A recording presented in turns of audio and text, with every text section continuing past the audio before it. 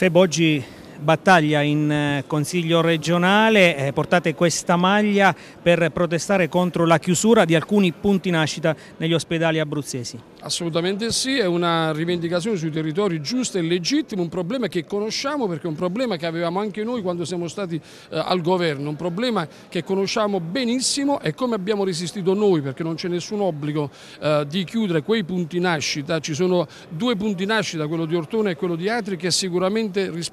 rispettano tutti i dettami eh, del, de, della norma, c'è quello di Sulmona che è impensabile di chiuderlo per, eh, per, il, terri, per il, territorio eh, che copre, così come quello di Penne, forse qualcuno queste,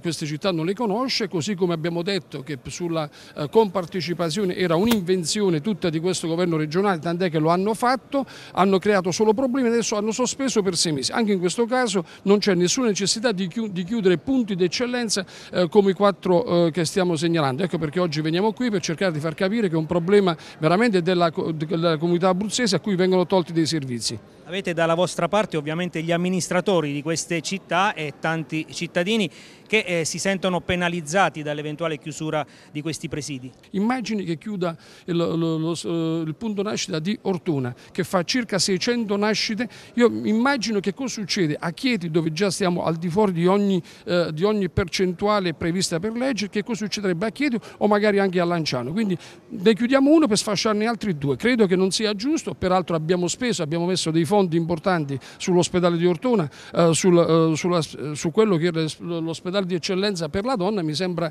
veramente una contraddizione fare questo.